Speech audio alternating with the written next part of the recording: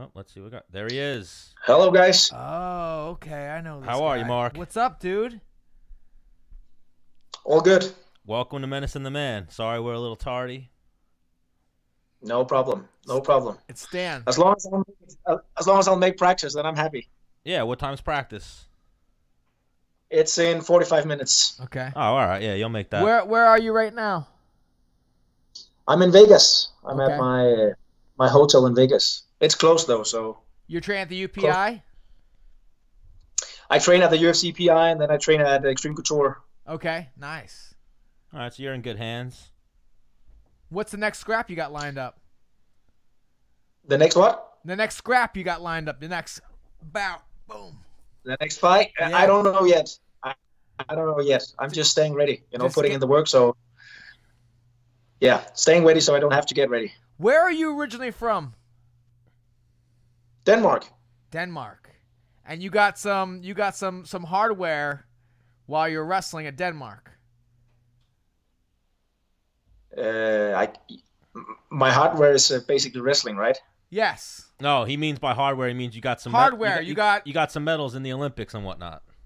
Oh yeah, yeah. I got yeah. I'm a I'm a five-time world medalist, three-time Olympian, and an Olympic medalist. So, you know, I've been at it for a long time, and uh, I've I've done I've done okay at, at Yeah. wrestling. When when did you start wrestling?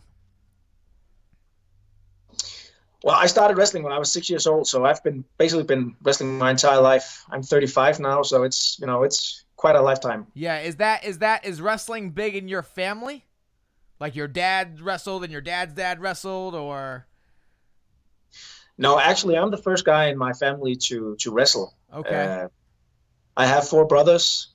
None of them wrestles, so I'm I'm the only wrestler in the family. Dude, dope. Um, wow, that's wild. And not only are you the only wrestler, but a multiple-time world champion at that, which is insane. That's something awesome to, to hang your hat on, man. So, what made you decide to transition over into fighting?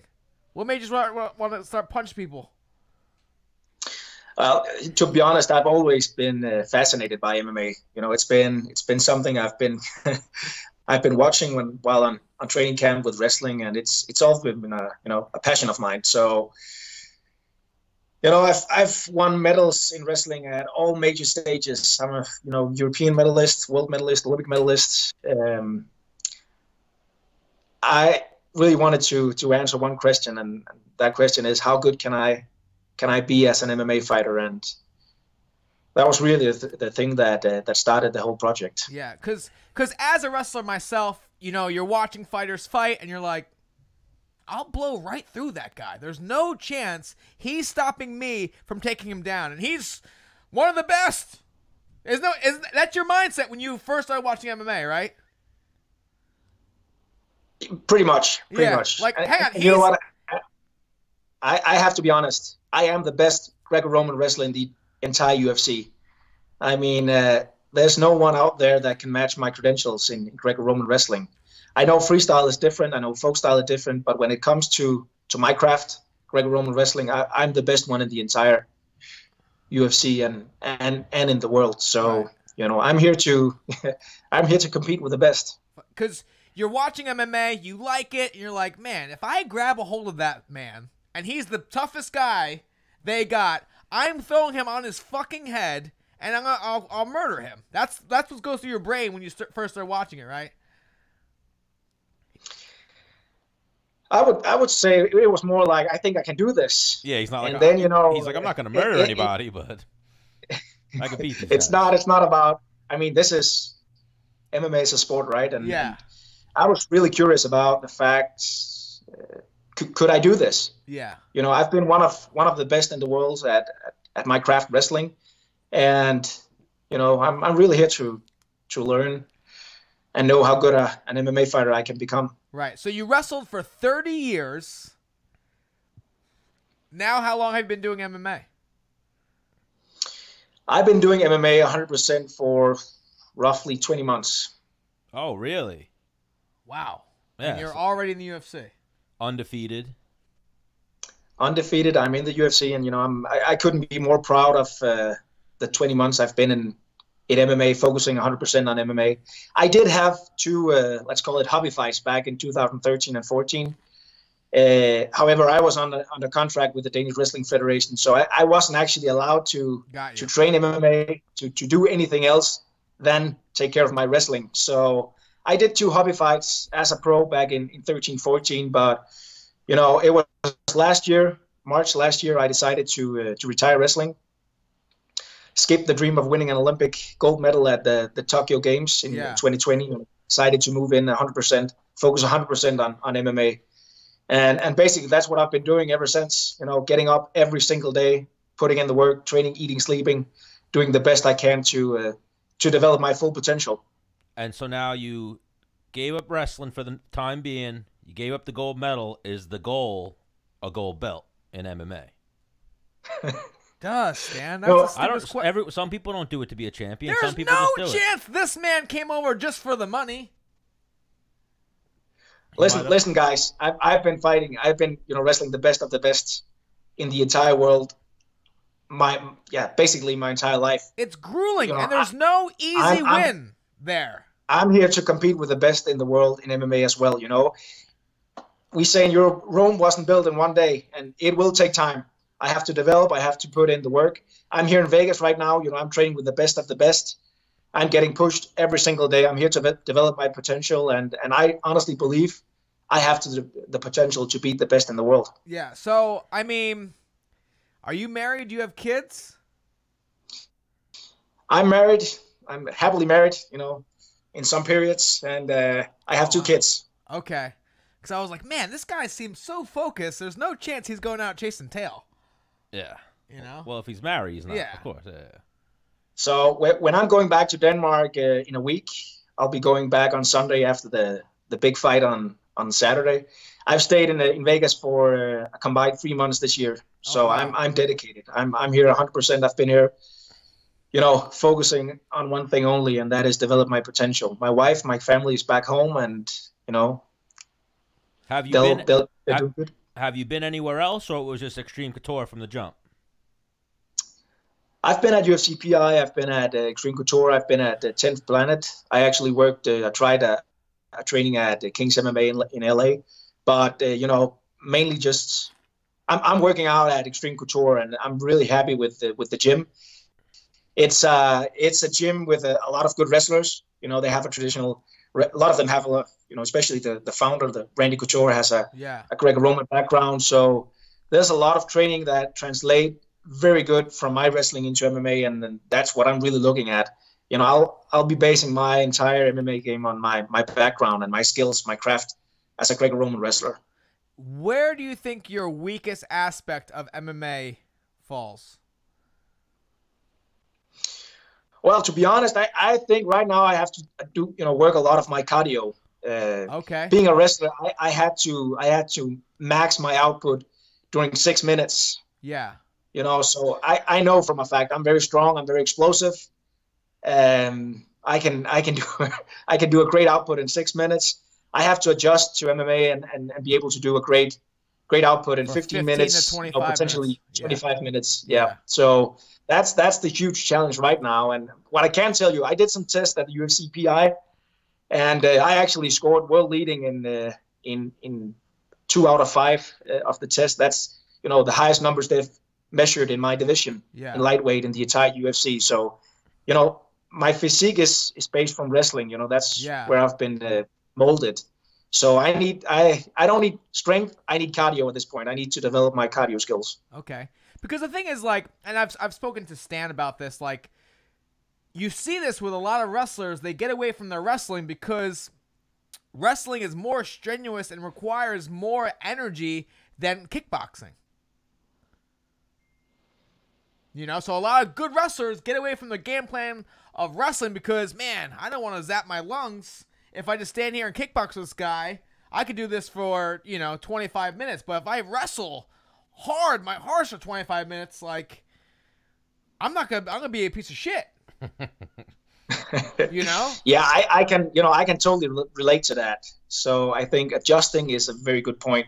However, you know, you're not in that octagon alone. you have an opponent. Yes, and yeah. So break him. So for me, I always... I can I can I can guarantee you when I get tired, he will get tired too, and he'll get more tired. So that's the whole mindset. yeah. My mindset when I used to fight is if I'm tired, that guy is dying. He's dead. Yeah. If I'm tired, Yes, sir. he's dead. You know. Yes, sir. Um. So training at Xtreme Couture, something I've seen you get a lot of rounds. That you train a lot with Dan Ige, right? I've been getting some good workout in with Dan Ige, yeah. And, uh, you know, a lot of the good guys, I've been doing wall wrestling with uh, Gray Maynard. And, uh, you know, my manager, Ali, is really taking good care of me, pushing me, sending me to the right places. I'm being coached in kickboxing by Dewey Cooper. He's been helping me a lot on my striking skills. So, I, you know, I'm really working with the best of the best in the game. And, you know, I'm getting up every single day, uh, you know, pushing it. Ali actually told me to Well- take it easy. Oh yeah, right there. You said you're training with Dan Ige, who's about to break into the top 15, one of the surging featherweights in the game. Ali, who's one of the top managers in the game. Gray Maynard, who's a legend, one of Menace's good friends, and uh, Dewey Cooper is like an unheralded. He's one of those guys that's always been like under the radar that deserves way more recognition. I've known about him for years. Yeah. Uh, does Gray know you're coming on the show tonight? I don't think so. Gray is my. Me and Gray have have traveled the world together. Yeah, when you go to practice, When you go to practice, awesome. you tell Gray you were on the Menace the Man show, and he'll be hype. Ugh, love me. Some I will Gray do that. I will do. I will do that. Ugh. What I can tell you, besides of being a legend, he, he has you know great wrestling. I mean, I've Yeah. I've I've I worked with him I a bit. him. I wrestled yeah, him he's, in a he's match. a great guy, man. And He beat me. are you scared of Gray? I love training with Gray. You know, this this is the mindset as well. So whenever there's a guy who's able to challenge me, tap me, beat me, that's the guy I want to go with. So I love going with Gray. He has a lot of things that he can teach me. Yeah, but Gray doesn't tap you out, dude. Come on. Well, I, I asked if you're afraid because he's a Puerto Rican. He's a quarter Puerto Rican, and he's a bully. He's mean to people yeah. sometimes. You And ever- he's also 40 years old. yeah, He's He- an old man. bro. He's still fighting though. He's still training like I he's know. fighting. So he's in shape. Yeah, he's no slouch. I'm sure. Do you have any word on Gray's next? Does he have anything in, in the works at all? No comments. Ooh, okay. I like that. I like that. I'll call him right now. I don't give a shit. So you're going to this card this weekend. Do you follow the fights or casual? I I'm going this weekend, and naturally I'm uh, I'll He- be uh, he I'll breathes be this watching, shit, you know. dude. Well, I'm saying, do you like watch the fights or you're like Yeah. a casual fight fan kind of? You watch all the fights every weekend, right? I watch all the fights and I study, you know, the entire lightweight division. lightweight or featherweight? I'm a lightweight. Oh, you're a lightweight. I thought you were a featherweight. Okay, because I was gonna say. No, I'm a lightweight. I- I actually competed uh, in wrestling in what would be closer to welterweight, but you know, I'm being coached by uh, I'm being coached by Martin Kampmann. He's the one of the one of the pioneers of, of Danish MMA. OG and, game, uh, yeah. We we decided to you know to make an impact impact in uh, at the UFC. We, we cut down to lightweight, so that that is my my division. You know, there. I think his name was, was it Dean Lester? Dean Lister. Dean Lister. What about him? Freestyle. He's a Greco guy. He's a No, there's some Dean. No, Lis- hang on, Dean, I'm Le- thinking of, Dean Lister's um, the jiu-jitsu guy. Who am I thinking of? La- was his last name Lester, the black dude that would? Yeah, that's Harry. Is it Harry Lester? Yeah, dude. I used to watch Harry Lester highlights all the time in high school. This guy would do super duck unders, grab people, and fucking throw them on their head all the time. He was awesome. Yeah. So so one of the things is I've actually wrestled uh, Harry Lester a couple of times. Uh, you know, I, I wrestled him at the World Championship 2009, and uh, he, he's actually we started out as competitors, but he's actually a very good friend of mine. I uh, when I wanted to transition into MMA, I actually went and visited him um, to learn some folk style and freestyle. So he, he's a very good friend of mine, and he's a super super or was a super talented wrestler. Now he's he's a coach. How old is he now? Yeah, I think she he would be around 35, 34. Oh, so so I mean, kind of off topic. Uh, so we're having a bar crawl for. Uh, I have my own day in the town of Babylon. It's called Dennis Bermudez Day, and you know who's gonna come? Who? Um, Jantzen, Jesse Jantzen. Do you remember Jesse Jantzen? Harvard, Harvard don't national. Harvard national champion. I, he did a little uh, international wrestling. I think he was he was on the ladder, but he is He was freestyle though. I don't think he he, was freestyle. prep- Yes.